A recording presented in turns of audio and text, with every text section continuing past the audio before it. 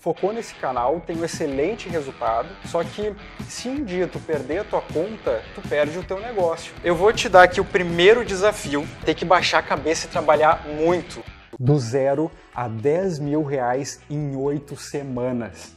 Esse é o primeiro episódio desse novo reality que estreia hoje aqui no canal. Nesse reality você vai acompanhar o dia a dia de um funcionário de empresa privada se tornando um empreendedor, mas começando do zero, sem nenhum tostão. Isso é para quebrar todas as barreiras que eu vejo aqui no canal em diversos comentários de pessoas que desejam empreender, mas não têm dinheiro ou não têm coragem para começar. E o meu desafio que eu tenho para você é que você entre de cabeça e aproveite essa oportunidade de acompanhar em tempo real o progresso semanal e poder fazer junto eu, o desafiado e você. Na descrição de cada vídeo eu vou colocar um e-mail especial para você compartilhar os resultados que você vai fazer, os seus resultados. E eu vou adicionar esses resultados nos próximos episódios. Você pode se ver aqui, então se inscreve nesse canal agora para não perder a notificação de cada novo episódio. Bem-vindo ao reality de mudanças mais profundas.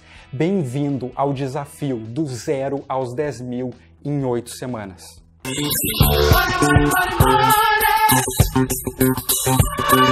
Como é que tu tá se sentindo sendo o primeiro escolhido? Nervoso, mas ansioso pela ideia, né, do projeto, mas ainda continuo com aquela ansiedade e, e quase infartando. Quando eu apresentei a proposta desse desafio para os primeiros alunos e escolhi a ti para a gente levar para uma conversa como a gente está fazendo agora e definir se vai ou racha, eu pensei muito em duas coisas. Primeiro, pela proximidade que a gente tem de ser né, aqui da mesma cidade, como é o primeiro reality, né, tornaria mais fácil essa parte de gravação.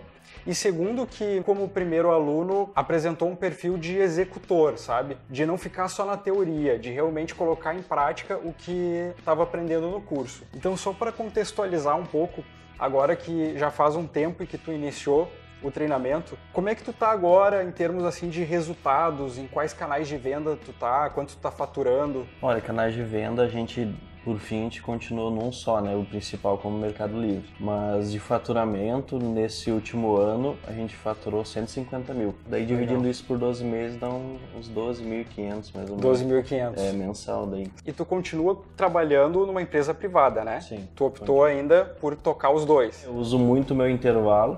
Intervalo praticamente todos os dias eu uso para alguma coisa criar alguma coisa nova, pesquisar produto novo, às vezes até mandar os pedidos do dia. Uhum. Então eu uso o intervalo, meu intervalo praticamente hoje é para isso. Antigamente era para para descansar, para dormir, né? Então hoje é bem mais útil para mim. É, eu venho te acompanhando desde quando tu iniciou e eu percebo justamente essa dificuldade em expandir o teu negócio para outros canais de venda. Tu acabou ficando só no Mercado Livre, focou nesse canal, tem um excelente resultado, só que se um dia tu perder a tua conta, tu perde o teu negócio. Então a gente não pode ficar refém de um único canal de vendas. Só que esse projeto do 0 aos 10 em 8 semanas é para quem vai começar do zero, absoluto zero, sem um tostão no bolso. Então a gente vai a partir de agora ignorar completamente o que tu já fez até hoje no Mercado Livre. Para esse novo projeto, a gente vai começar sem dinheiro, para que todas as pessoas que estão nos acompanhando possam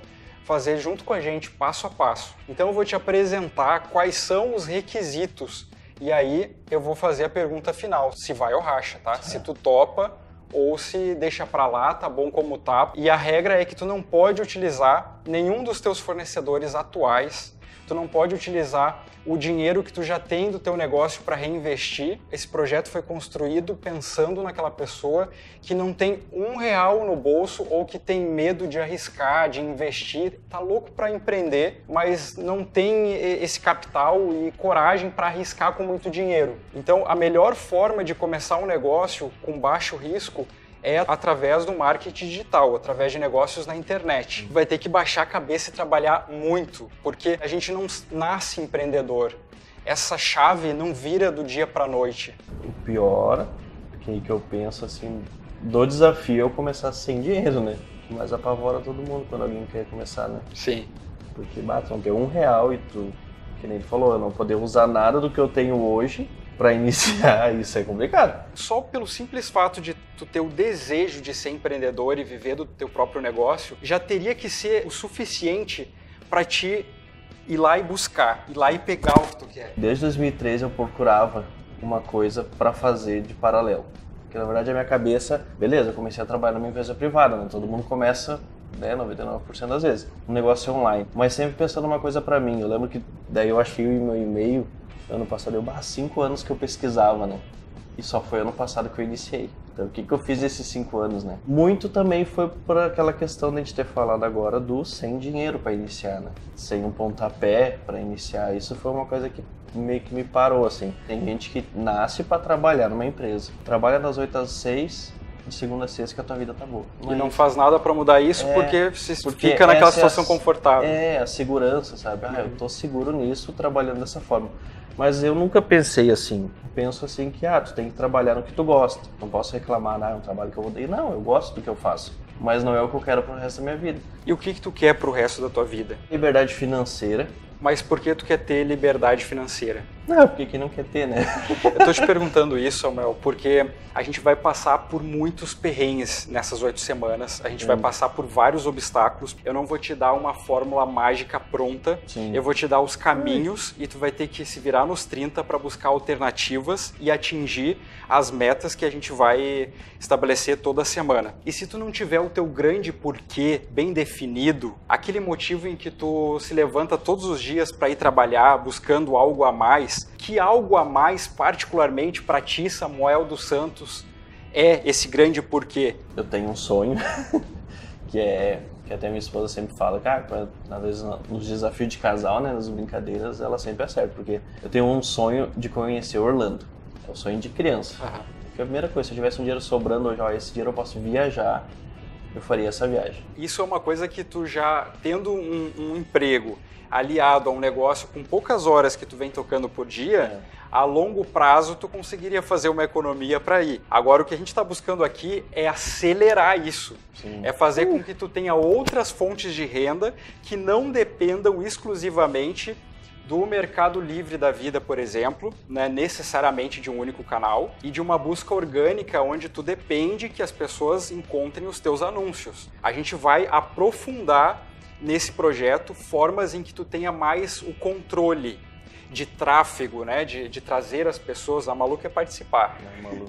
Depois, Malu, depois. Toda entrevista ela vem aqui cumprimentar. Tu precisa ter isso muito em mente, muito claro para ti todos os dias. E quando tu passar por uma dificuldade, pensar, poxa, eu tenho um objetivo maior, e o empreendedor ele faz o quê? Ele contorna esse problema, porque todo empreendedor passa por dificuldades. E como isso aqui é um reality, a gente vai passar juntos. Então, eu vou te dar aqui o primeiro desafio.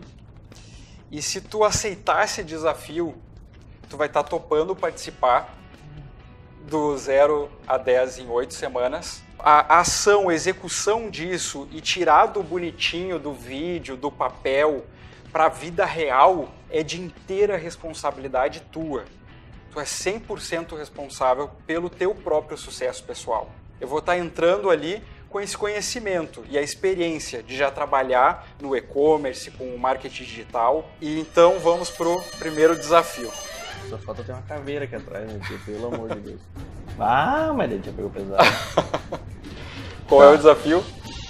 Desafio, fazer mil reais do zero. Fazer mil reais do zero. Isso pode ser por alguns caminhos a tua escolha. Tu pode vender usados no LX ou no Mercado Livre. Entretanto, essa conta do Mercado Livre não pode ser a tua que está bombando no termômetro no verde com alta reputação. A gente tem que pensar que quando eu falo do zero, é do absoluto zero, não só em sentido financeiro, mas no sentido de zero contato, zero networking, zero reputação online. Além de levantar tudo que tu tem em casa que tu não usa mais, porque tudo aquilo que a gente não usa há mais de três meses é inútil. Sim. Então tu pode também entrar em contato com os teus familiares e verificar o que eles poderiam se desfazer em casa para que tu faça dinheiro com isso. E esses mil reais não vai entrar para a meta dos 10 mil, porque nós vamos fazer esses 10 mil com um negócio teu online. Esses mil reais de desafio inicial é para te se capitalizar para que a gente possa investir nos produtos que tu vai revender online depois, ou que a gente possa usar esses recursos, esses primeiros mil, para comprar espaço de anúncios patrocinados, comprar tráfego pago, investir nas melhores ferramentas de marketing digital que a gente possa utilizar para ter um retorno mais rápido, porque o desafio é em oito semanas, não é a perder de vista. Então, o primeiro desafio, que não vai ser incluso na meta dos 10 mil e também não vai entrar ainda no tempo das oito semanas, é esses mil. A partir do momento que tu levantar os primeiros mil reais, começa a contar oito semanas e a gente vai poder utilizar os mil reais para fazer esses pequenos investimentos no nosso negócio do zero. Muita gente me fala assim, Cássio, eu não tenho nem 30 reais. Eu costumo responder assim, mas tu tem um tênis no teu pé? Tu tem uma mãe, um pai? Já perguntou para eles o que que tu poderia revender da parte deles que eles não estão mais usando? O que que tu tem em casa que tu não usa há mais de três meses? Isso tudo é dinheiro. Sempre sai alguma coisa. Sempre, Sempre sai. sai qualquer coisa, tu pode olhar agora ao redor da tua casa, tu sempre vai ver coisas que tu não está usando. Aquilo ali é dinheiro convertido em, em, um bem material, que pode ser convertido para dinheiro de novo. E esse dinheiro, esses 30 reais fazem 60, e esses 60 fazem 90, e assim por diante. A gente não consegue sair dos 30 para os 3 mil de cara. É uma escada e a gente vai escalando degrau por degrau, mas começa com esses 20, 30 e a partir disso, como fazer de 30 a 60, como fazer de 60 a 90, vai estar tá dentro dos próximos desafios. Se tu tá dentro, tu vai ter que vestir essa camiseta. Ah. Agora sim, um par de vaso aqui.